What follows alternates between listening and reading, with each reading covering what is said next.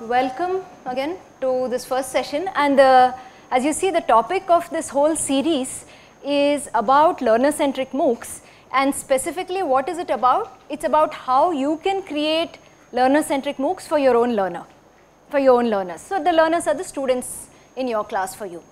So, this is a workshop on how you can create such learner centric MOOCs and if we are doing a workshop on how to create learner centric MOOCs, the workshop itself better be learner centric.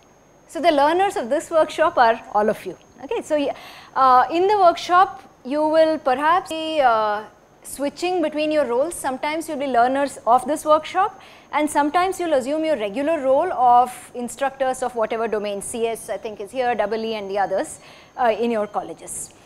So, one of the first things when we are trying to think of, uh, when we are trying to put the learners in the center is to get to know the learners. Who are they exactly? So, that is why the first thing you see here that we want to know is about you. Uh, each time you see a yellow slide with an orange background or light white slide with an orange band at the top, it means that you know there is something that you need to do beyond watching and listening. So, quick uh, poll question, other than an IIT Bombay X MOOC, have you participated in a MOOC as a student? Yes, so 1, 2, 3, 4? Uh, okay, so did you, so just look at the choices. So I guess nobody is in no never. How many in I signed up, did a few activities but didn't complete? Okay, which uh, MOOCs just? Coursera. Coursera. Signals, okay. Uh, number 3, I did most activities and completed one MOOC outside of IITBX. Which ones? Which, which domain, which topic? Outcome based education and all. And anybody who has completed two or more MOOCs outside of IIT Bombay, okay, great. Uh, okay, so this is just for us to get an idea of how familiar you are with the other uh, platforms and what you have seen in those MOOCs and so on. So let's move on to slide 3. Uh, have you participated in a MOOC in a teaching role? So either, no? Have any of you participated in a MOOC as an associate faculty or TA? Okay, which one? Have you been an associate faculty for a MOOC or a blended MOOC? Blended. Blended. FDP 201. So, some of you are doing that. Okay, so the goal of this workshop, what is this workshop about? It's to get you to number 3 in the previous question. Okay? So, and if we want to get more specific, this workshop is on how to conceptualize, create and conduct a learner centric MOOC. So, this, this is what we will be doing in the next 3 days and we will be spending some time on, we'll, most of today we will be doing on conceptualizing or planning the MOOC and then tomorrow we will get into a little bit of creation and just a little bit about what you have to keep in mind while conducting. Right. So now here is another warm up activity for all of you. This is going to be a think pair share which I think all of you are familiar with, right? There are three phases. Okay, so there are two scenarios you need to consider.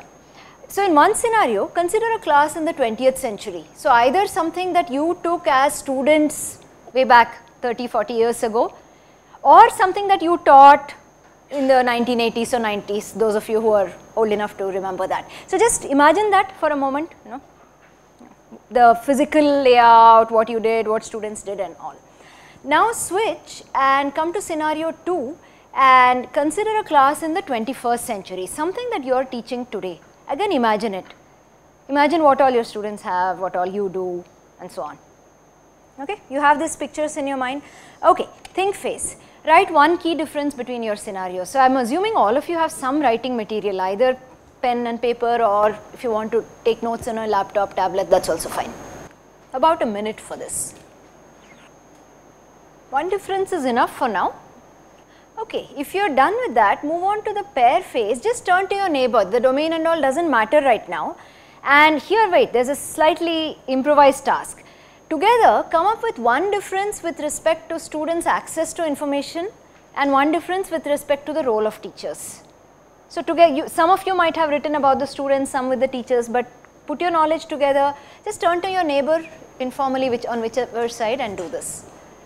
Okay, so let's move on to the share and try to put these together and you know as a group as a whole as a workshop let's try to look at what all differences might exist with respect to students either their access to information or what they do and one with respect to the role of teachers. So, we have people uh, with mics here just put up your hand if you want to say something say one thing and then we will rotate it yes please.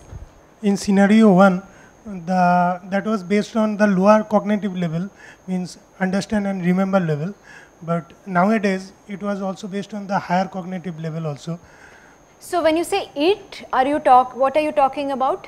The Scenario 1 in So you're saying what happens century. in class. Can you Yeah. give an example about the higher cognitive level that happens today? analyze analyze level among uh, discussion among students and they are sharing their views also. So you're saying today there is more of discussion among students in the class and sharing their views. Okay. So let's pass the mic here and then we'll go that side. Yeah.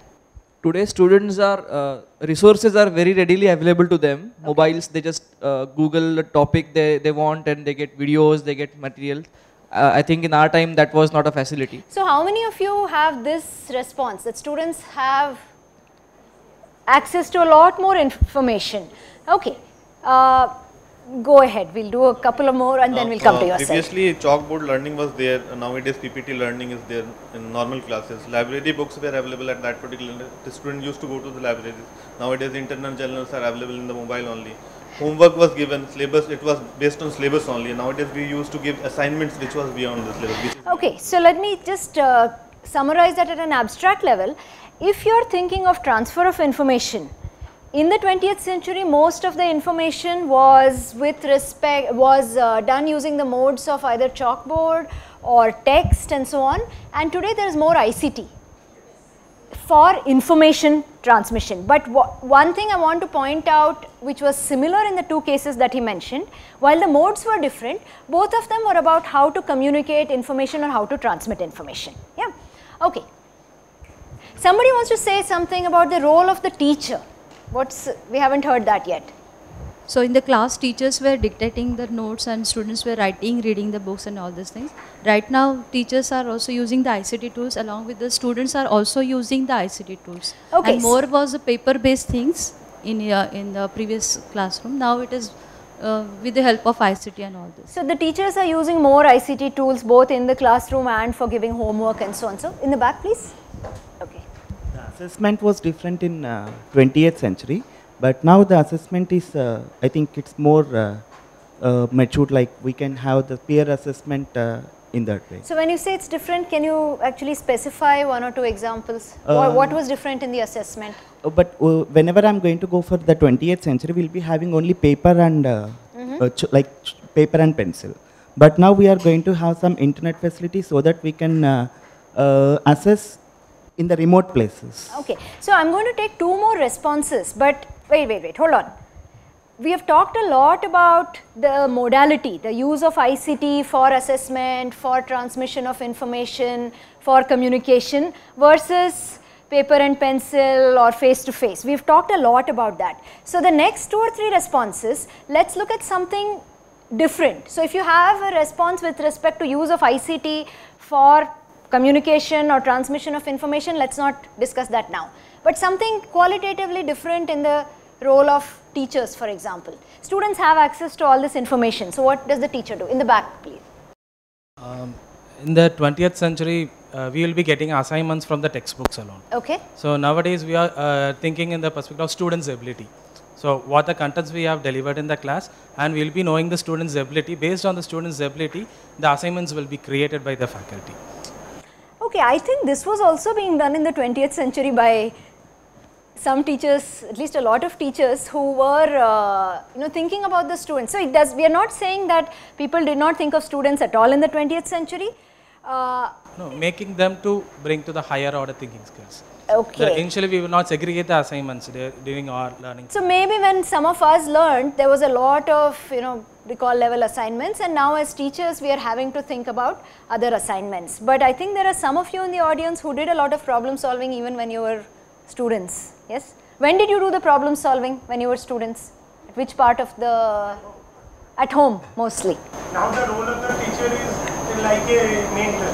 They are, uh, they are students are uh, doing their activities by themselves and role of the teacher is like So it's seems like the role of the teacher is changing a little bit because the students are doing getting more information and so on. So let's take one last comment from the back.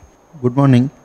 Normally, uh, we teach uh, the student uh, basis on uh, content centered. Uh, nowadays, uh, we have to change this methodology to knowledge encashment center. Uh, can you explain what you mean by that knowledge? Means im- uh, importance of uh, knowledge encashment we should provide them um, as we uh, uh, deliver the lecture. We have to give importance of the uh, importance of this knowledge. How can you convert these within a particular period? Uh, Okay. Okay. So let's look at some some. One more is there. Okay, last one. So generally in university uh, pattern like that, some senior people come and design the course and that course will be carried out by all the institute and will be taught by. So there is no scope for now the addition and all the thi- uh, extra things or the beyond the curricular things that we want to do. So we have to do it separately in that course. So that whatever the given syllabus prescribed format is that we have to teach in the classroom itself. So what's the difference now? Here now, if you want to go further, now we have to add the things to this content apart from the prescribed format. So content needs to be changed. So that is So the possible teacher now. has to think more about the content and so how that to go is that is what possible syllabus. due to the resources and all the Okay. things that is easily possible now for the things. Okay, so maybe it's more because there is more access to information. It may be possible to go beyond the syllabus. We'll come to the rest of you in the other. We have lots of activities. Okay. Okay. So let's summarize here. Uh, here are some key differences. The first one, I think all of you uh, said multiple times, but let's see why it was important. So information access was limited, which means those who had access to information were the ones who were valued. Who had access to information?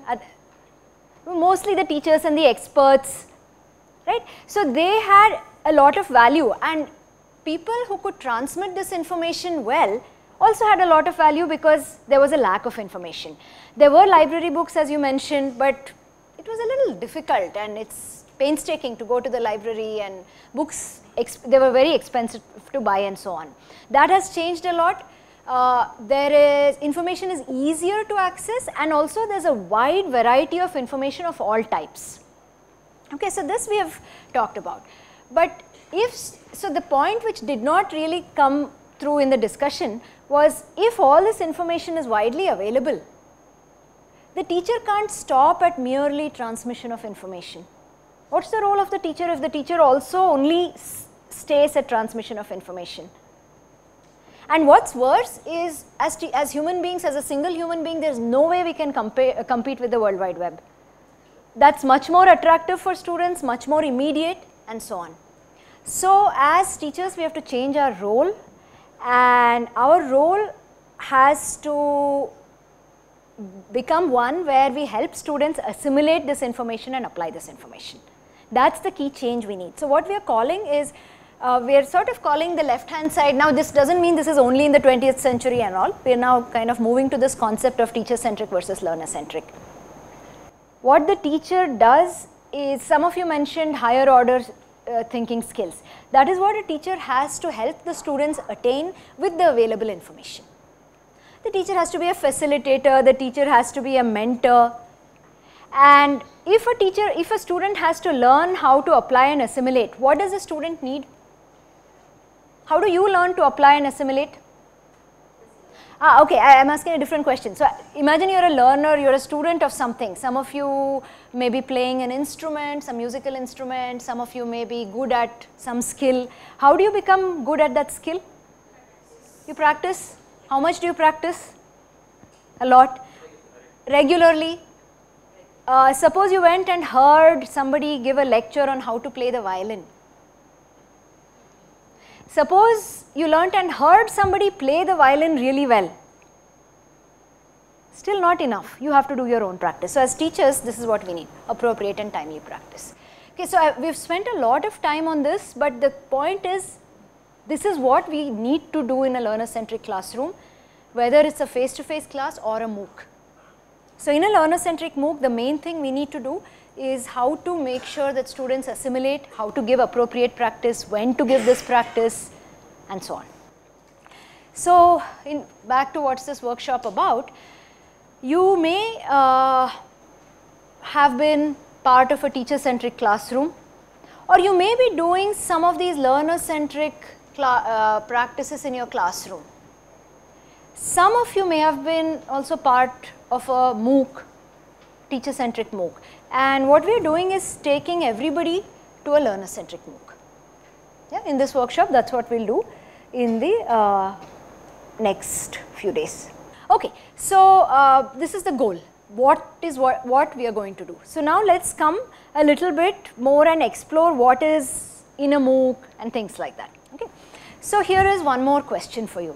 Your colleague says that in order to create a MOOC, the main thing an instructor needs to focus on is technology features to mimic classroom actions.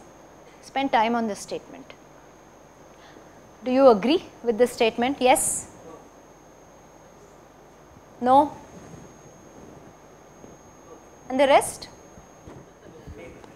Yes, no, maybe. Okay, so let's see, let's move on to the next activity. Let me see hands again. No, how many no's? Oh, now there are fewer no's. How many yeses? How many? I am not sure. Okay, uh, and the rest you said, what do you mean maybe? So, we will try to explore this maybe, okay. Let us consider the same statement. I am not, so that we are not talking of what is the right answer, what is the wrong answer. We are trying to understand what this statement means, what could happen and implications and so on. So, we will do a think pair share here.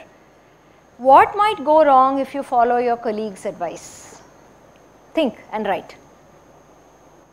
Suppose you follow this advice that in order to create a MOOC, you focus on technology features that mimic classroom actions. What might go wrong? Come up with one thing or multiple things that might go wrong with this approach. Actually, let me put up the pair phase also since all of you are discussing that is also about what might go wrong. So, you can discuss with your neighbor, here is a hint come up with one thing that might go wrong if you focus on technology and one thing that might go wrong if you only mimic classroom activities. Spend some time discussing here. Since you have been discussing in an animated fashion, let us hear what you have to say. So, people who did not get a chance in the first round, I think back there you had a discussion, can you pass the mic there? Uh, and when you say what might go wrong, say what it's re with respect to uh, in this particular century we want our students to be engaged basically mm -hmm. so we have to design something which should be a student centric course so if we just focus upon IT probably we will not be in a position to design the contents or the course which would be um, you know uh, engaging the students. Okay IT good. would come on the second stage. It would be just a facilitating or a mode of delivery. That okay so that's a very valid point that if you focus on the technology you may, the focus becomes on how to use the technology to facilitate something and the focus gets lost from the learner engagement, from the student engagement. Okay, that is one key problem that might happen and she actually did point out one more problem that the focus is going away from the content design and what the learners experience. Other problems? Yeah, go ahead please. Students are not having any interest in the, while doing the course, they may drop that uh, content and uh, they do not listen further and they won't receive exact knowledge what we want to deliver. That's so, you are actually pointing out a problem which is very prevalent in MOOCs that student interest in the course it can go down and in fact there is a lot of empirical data that says that student drop out of MOOCs. Okay, that is a problem of the MOOCs that you are pointing out. Can you see how it connects to this problem, I mean this uh, scenario here? if an instructor only focuses or mainly focuses on the technology features and mimicking classroom actions, so just providing the technology or the things, how will ensure that student has learned the things or gone through the things? That is the first thing that. So the technology alone may not be enough to ensure that students uh, ensure students retention in the course. Okay. And second point is of the assessment. Hmm. What they have learned again that will not be sufficient to going through the technology that giving them uh, objectives and uh, sorry MCQ questions and all this is available, how you will check that they have gone through and they have uh, learned the things from that particular content or the lecture. So we need to consider assessment also uh, and we, we should not limit it to only multiple choice questions. That's what I'm hearing. Okay, one last comment and then we'll look at this more. Ma'am, recently uh, I am pursuing one MOOC related to Startup India. Hmm. Actually, they have designed it uh, very, very well. Actually, uh, in that MOOC, you cannot escape or uh, avoid any uh, video. In that uh, video, you have to completely uh, watch that video. Then and then only you can proceed further. Okay, so you're giving some solutions actually. Yeah, we'll come to that on how to ensure student engagement using the technology. But the point we have to do first is change our orientation, change our mindset from just thinking about which technology to how do I engage the student and how do I ensure their learning. So let's go a little bit more about the problems okay before we come to solutions. So if we focus only on technology, one of the main things that happens, the first thing that happens is that the learner gets forgotten. We started with saying learner centric, get to know your learner. Where is the learner if you are only focusing on technology or thinking from a technology centric perspective? The other point is some of you may be aware of it from the previous workshops or uh, MOOCs. There is a lot of uh, known theories now on how people learn and only watching videos is not how people learn. In fact, you also said it a few minutes ago. How do you learn how to play the violin? Right? You know, you have to practice, you have to be engaged and so on. So, focus on technology takes the shift away from how people learn and the common MOOC problems that you mentioned may persist. Right? So, the main takeaway here is that it is not sufficient to focus only on the technology features in the MOOC platform. But what you need to do, which is what we will do in the rest of the day is how to exploit, how to use the technology features to be able to incorporate learner centricity by learner engagement, giving them practice and so on, right. That is the thing. So, okay, we will go to one more and then I will come back to the question. We did not focus too much on that. What might happen if we mimic a typical classroom, right? What happens in a typical classroom, standard classroom? there is a lecture for 45 minutes. Uh, there is some practice. When does the practice happen? At the end, maybe at the end of the module or just before the exams and so on. Even if as a teacher you ask questions, did you understand how many people have doubts? Some students answer but not all. So, if you now mimic this to a situation where you have distance to a MOOC setting, where there are learners spread all over, where uh, learners are of different types, then uh, these problems worsen. Okay. So, the takeaways do not mimic a typical classroom. Now, how many of you agree?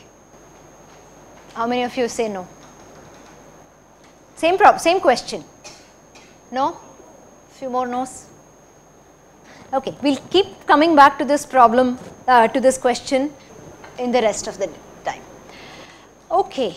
Okay, so I'll just give you a sneak preview of what is there in the LCM or learner centric MOOC model. Now, uh, in a typical classroom scenario, we have these, uh, we have all these components, right? I mean, some are components, some are activities that you do, some are processes that happen. But the typical uh, activities that happen are, you know, you have lectures and demos. I mean, we are not talking about a laboratory based classroom, but a standard classroom we are talking about. So, we have lectures and demos, then we give assignments, then we uh, have projects, we have activities for students. There is interaction with the learner and the instructor where we are talking about um, maybe clarification of doubts and things like that. Then there is learner learner interaction, okay. often it happens offline when learners are studying together during the exams or preparing for the exams. We also give additional readings, and then we have exams and assessment. Okay, is there anything else in this column that you think uh, needs to be added? Is there anything else that you do which is not included here in one of these items? Importance of the content in the industry will be part of lectures, demos, examples, context. So, you will still be telling about the importance of the context in the industry, it will still be part of your telling phase or the lecture phase. Okay. Anything else? Discussion forum is what we are saying as learner learner interaction where learners will get together and discuss either after the class or you may have a group activity in your class, right. So, the discussion may, may be orchestrated by the instructor or the discussion may happen despite the instructor, right. It may still happen anyway learners may discuss. Objectives of the course, yeah, so you will talk about objectives of the course as part of your lecture, right. Hmm. Some future prospects, telling of future prospects. So, all activities which, re, which relate to us telling something to students, I am capturing as lecture. Uh -huh. Actions after the assessment such as based on the performance of the student we have to modify the actions, we have to take actions. Okay, so that would be sort of captured under instructor learner interaction, right. So, we are saying instructors, so you are getting feedback, you are tuning what you want to do in the next time. Is there anybody here who uses Moodle or some LMS as part of your lecture class? What do you use it for? Huh. I use for the uh, content uh, study material available for the student okay. as well as topic quiz conduction uh, week wise okay. and assignment submission. Okay. So, Moodle typically we are using for making the resources available, right? Making students also you know easing our life by allowing students to submit assignments through Moodle. Occasionally we are using it for conducting quizzes. How many of you have used the lesson plan feature of, um, of Moodle? One person, two, three people have used the lesson plan feature in Moodle. Okay. So, now, so what we are saying is we are classroom to online. Now, when we go to MOOCs, okay, what is required? So, I heard people say uh, discussion forum is one thing that is required. So, what are the normal components? Now, you have been students of MOOCs, So, what are the normal components that come to mind? Videos, okay, quizzes, games in a MOOC, puzzles, okay, puzzles. Somebody from this side. What else? I mean, you have been a learner in a MOOC, right? What else have you encountered? What other components of a MOOC have you encountered? Course contents, activities, peer assessment, okay, and online exams, okay, right. So, these are usually the components that come to mind, right. We say, okay, if I go want to take my classroom and make a MOOC out of it, I am going to take my lectures, I will make videos out of them, I am going to take my activities, I am going to make them into exercises, I will provide a discussion forum for clarification of doubts and I will have some kind of an online exam. So, that is usually the idea that comes to mind. Okay, that idea is not very effective because it is not student centric, right, it is still teacher centric. So, that is your teacher centric MOOC where all these components are available and it is largely left to the learners to make as much use of it as possible. The teacher's focus is still on content delivery, is still on actions that the teacher is carrying out. Is that making sense? Okay. So, now if you want to go to a learner centric MOOC or a LCM model, what we will do in this uh, preview is we will just give you some idea of how each of these items or each of these components translates to the LCM model. Okay. Later on as the day progresses you will be doing activities to create all these things for yourself. Okay, so instead of lectures and demos what we have in the LCM model are what are called learning dialogues. So, the idea of a dialogue is there is always a dialogue between the instructor and the learner. So, the learning dialogues have the content. So, the content can be anything, content can be your lecture, content can be a screen capture of some demo that you want to give, the content can be a video of a real life application. So, anything that you would normally show to the learner or normally tell to the learner comes under content. Okay. So, a traditional MOOC would stop with making this content available to the learner. In a learner centric MOOC what we do is we include what is called a reflection spot along with the content. Okay. The learner watches the video or the text or the animation whatever and in the reflection spot what the instructor has to do is to design a question which makes the learner pause and do some task related to the question. Okay. Have you done any tasks in this workshop so far? Since the morning? Okay, hardly an hour, it has been 45 minutes since you started. How many tasks have you done? 3, at least 3 you have done, right? So that is the way. So you have to insert some task in the content. Okay, why is this important? Engagement, okay, engagement is one reason. Then attention, learners, it keeps the learners attention. Then involvement, they all come in the same bucket. Enhances what? Getting responses, what do you do with the responses? Well, we are not going all the way to, a, it's a very small thing. So, just like we said, okay, there is a voting activity, like, so that is kind of a reflection spot. Okay, we are not doing any peer discussion, it is still part of the video only, okay, but still keeping a question where the learner has to vote has some value. Okay, one is the value from the engagement, the other value, important big value is from the eliciting of prior knowledge, right. So, when we ask this question, it elicits your prior knowledge. What is your opinion of this question? So, when you insert such a question in your own video, again it elicits, it makes the learner think about what is their prior knowledge or prior conception of that question.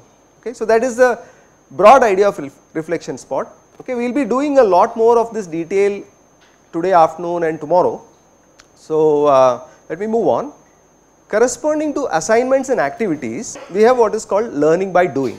Now, learning by doing, you might think that, oh, we all are anyway doing this learning by doing because when I give an assignment, I just have to take my assignment and make it online. I make my assignment online and that is my learning by doing. It is halfway to learning by doing because it has two parts. So, one is the exercise which is the standard thing that we would do. We would give a question. So, in this case, the exercises are also corresponding to the learning dialogue. So, as soon as a learning dialogue ends, we have an activity where the learner has to do a do some exercise which makes them apply or ensures that they have understood the content of that learning dialogue. Okay. And the one more additional thing here is the customized feedback. So, in many of these slides what you will find is the second part. So, the first part you are likely to find in a traditional or a teacher centric MOOC. The content you will find in a teacher centric MOOC. This adding a reflection spot along with the content is, is what makes it learner centric. Similarly, for learning by doing activities, the exercises you will find in a teacher centric MOOC, you will find in any course like what many of you said, I upload my assignments and students can submit their assignments. But the giving of customized feedback that is what makes it learner centric. So, depending upon even if it is a multiple choice question, depending upon each question there could be customized response for each question. Okay. So, there is specific feedback towards achieving the target performance level that is learning by doing activities. There is one more way of convert assignments and activities into learning by doing which is called integration assignments. So, integration assignments are somewhat larger assignments where learners have to apply their knowledge which they have gained across multiple modules of the MOOC. Often in a classroom course we call these projects okay, or we call these as group assignments where they have to do some fairly large task and now the problem in a MOOC setting is how do you assess or how do you give feedback on such tasks right. So, yeah sure yeah. Uh, in learner centric MOOC we are doing content as well as reflections part so in normal methodology also, we deliver the lecture and if we stop in the middle of the lecture, we can uh, ask a question to the student. In the same way we are engaging in both the methods, we are doing the same thing, I have that doubt.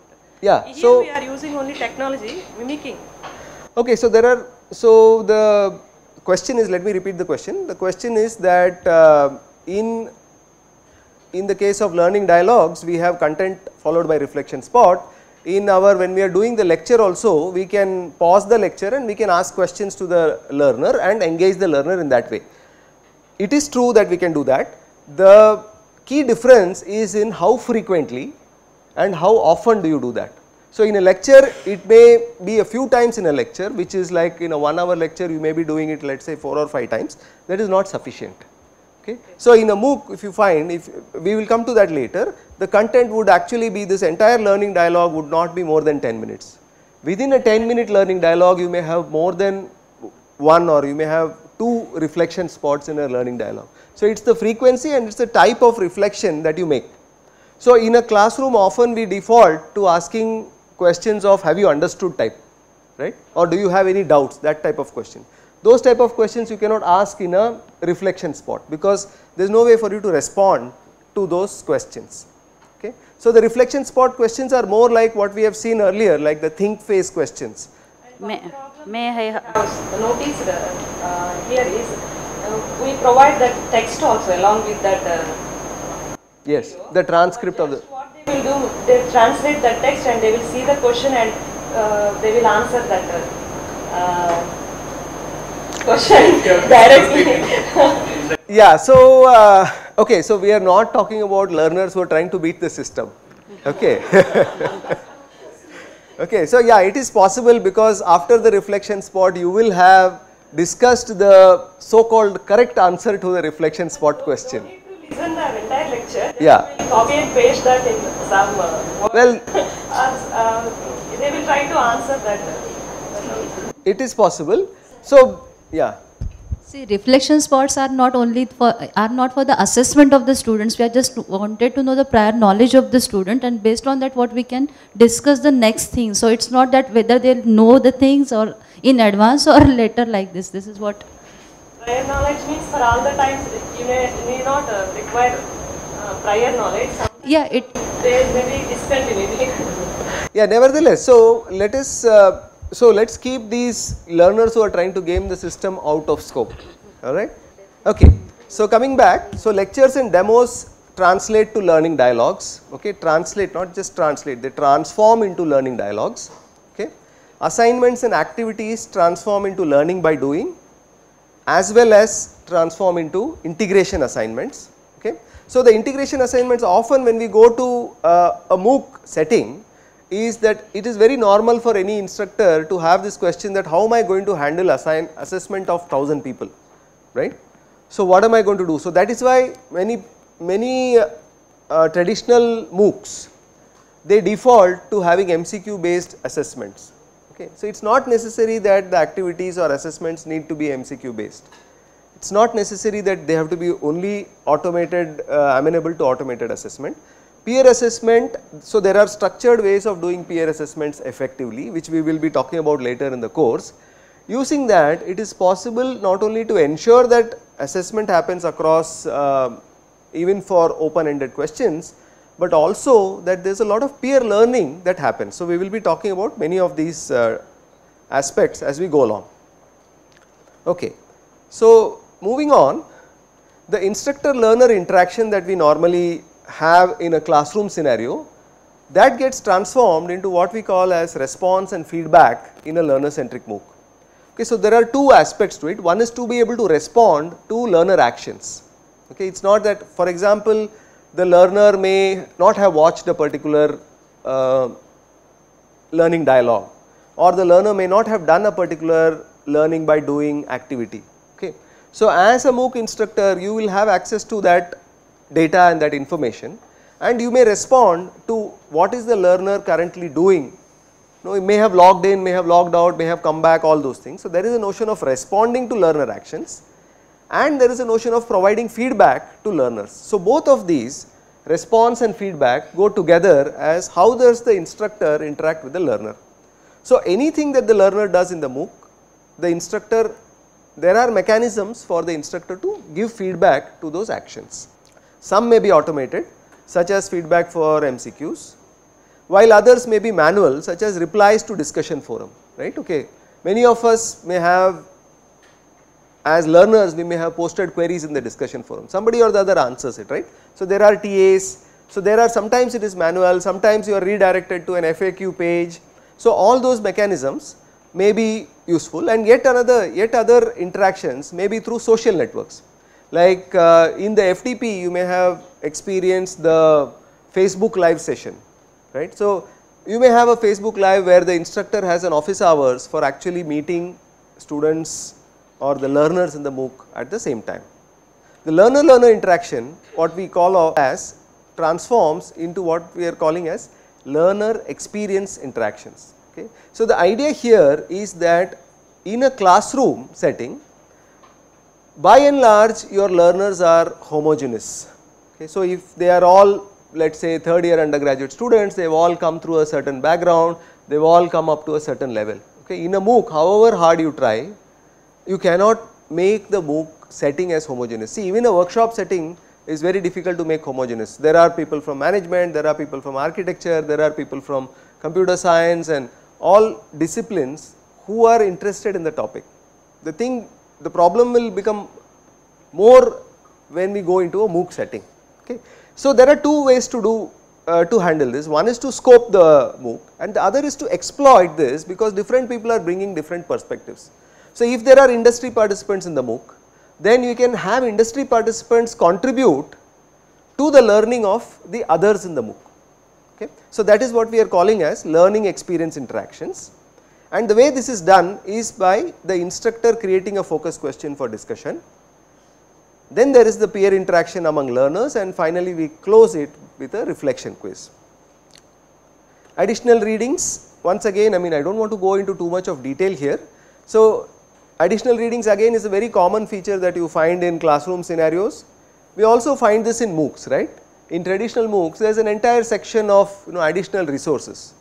Okay, how many of you have seen these sections in the, in the MOOC that you have taken? Okay, you have seen sections which say that additional resources. How many of you have clicked on those? Okay almost nobody clicks on those resources, right. The resources just sit there. So, which is what makes them ineffective. So, what we do is instead of simply making those links to resources available, we call them as learning extensions. So, there is a, it is not just a link to resource, but there is a, um, when you are creating your learner centric MOOC, you will write something about what type of learner this is useful for, why the learner should see it and the loop is closed by having an assimilation quiz at the end of it. See the whole idea in this learner centricity is to close the loop of every interaction with the learner. So, if you start with giving a, a, learning by doing activity, you need to close it by giving feedback to the learner on that activity.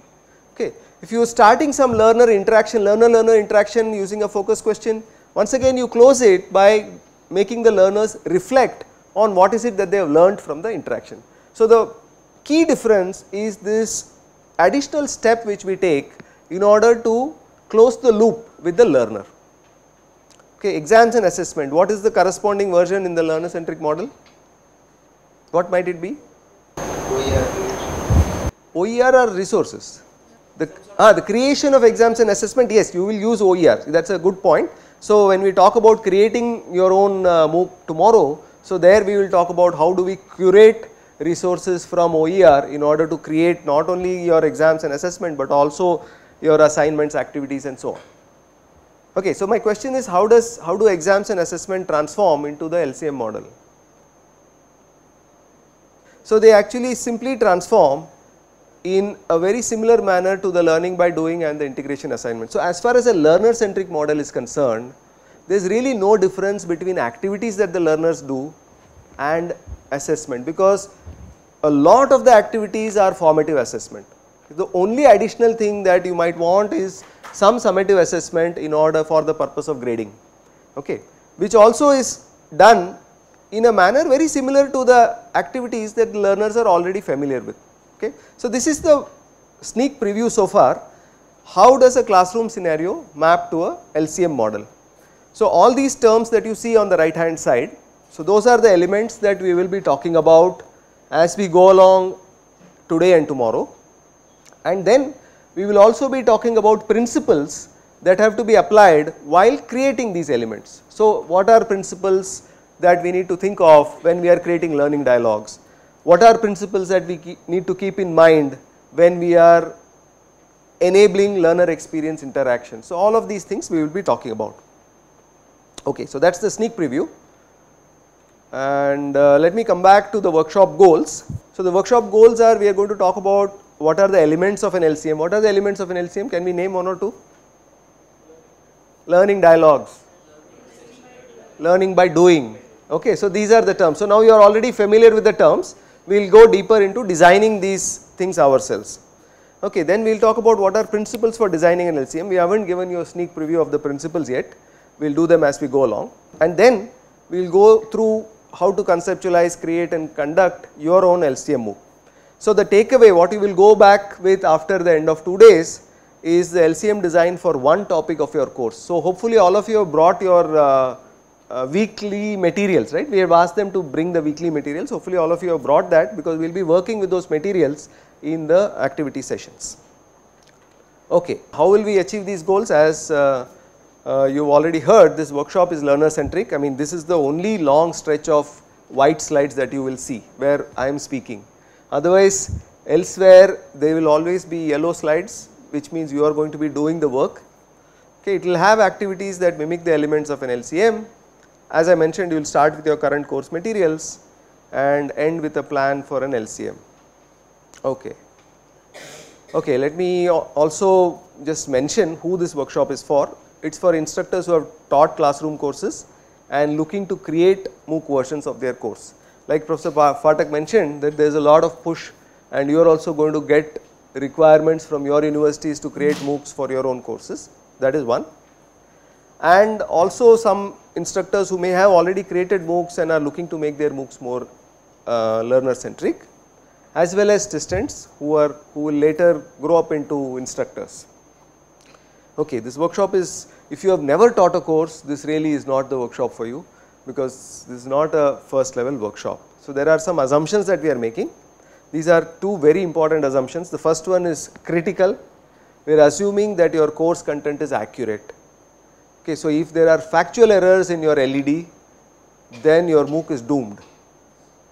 Okay, so you have to get your content vetted. We are not going to go into how to ensure that. So if you are talking about, let us say, whatever we had seen a slide earlier on Fourier transforms or something, where if you are going to talk about that, it is your responsibility to ensure that the content is accurate okay. The materials should not lead to incorrect understanding. So, sometimes activities can lead to misconceptions. This is much more important in a MOOC than in a classroom scenario. Okay, in a classroom scenario, you have the flexibility of giving real time modifications to what you have said. You can say you have the luxury of saying, oh, once you realize that students have misunderstood, you have the luxury of saying that, oh, that is not what I meant, I meant something else. Okay, you do not have that luxury in a MOOC. So, it is very important to ensure that the material is thoroughly vetted to begin with and uh, that is one assumption that we are making. The other assumption is you have some knowledge of how to design courses. So, we are not going to get into all aspects of instruction design, we will be getting into some aspects of it. Okay, is that making sense? What the stage is about? Okay, so now we will just dive in into the next session. So, here is a question for you to think of. Shall we just take a tea break now? We will just take a tea break and then come back for the next session. So while you are having tea you can think about this question.